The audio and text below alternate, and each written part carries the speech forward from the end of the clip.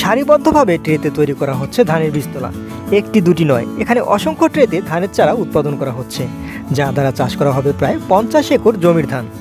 আর এবার কৃষি যান্ত্রিকীকরণের মাধ্যমে সমলয় পদ্ধতিতে ধান চাষ হচ্ছে মুকসুদপুর উপজেলার মোসনা ইউনিয়নে বাংলাদেশে বহির্বিশ্বের ন্যায় যান্ত্রিকরণ পদ্ধতিতে আমাদের দেশেও এখন যান্ত্রিক পদ্ধতিতে ধান চাষাবাদ হবে। সেটা হচ্ছে কি, সমলয় পদ্ধতিতে যেখানে অনেক কৃষক একই সাথে একই প্ল্যাটফর্মে যুক্ত হতে পারে। সোয়িং মেশিন দ্বারা কৃষি যান্ত্রিকরণের মাধ্যমে এখানে বীজ ফেলা হয়েছে।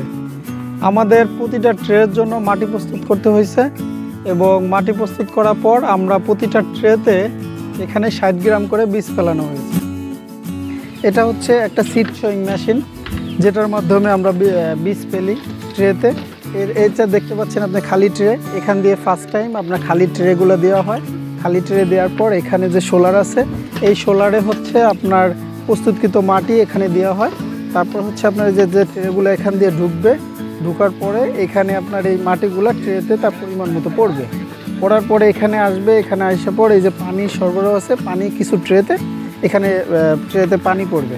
পানি পড়ার পর এখানে যখন ট্রেগুলো আসবে এখানে আপনার বীজ দেওয়া হয়। বীজগুলো ট্রেতে আপনার সঠিক পরিমাণ ষাট গ্রাম করে বীজ এখান থেকে ট্রেতে পড়বে। ট্রেতে ট্রেতে পড়ার পর এখানে আবার আরেকটা সোলার আছে, এখান দিয়ে আবার প্রস্তুতকৃত মাটি রাখা হয়। এখান দিয়ে বীজের উপরে আবার মাটিগুলো পড়বে। পড়ার পরে এখান থেকে আপনার এখান দিয়ে পুরো বের হয়ে যাবে আর। এই মাঠের অধিকাংশ কৃষককে আমরা এক প্ল্যাটফর্মে আনতে পেরেছি। সেই লক্ষ্যে এখানে আমাদের সমলয়ের যে বীজতলা, সেটা আমরা ট্রেতে অলরেডি কৃষক ফেলেছে।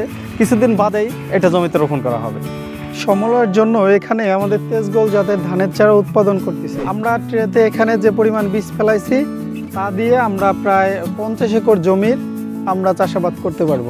উপজেলা কৃষি অফিসার কৃষিবিদ জনাব বাহাউদ্দিন শেখ স্যারের নির্দেশনায় আমরা এখানে কৃষকদের সার্বিক সহযোগিতা এবং সার্বক্ষণিক পরামর্শ প্রদান করে যাচ্ছি।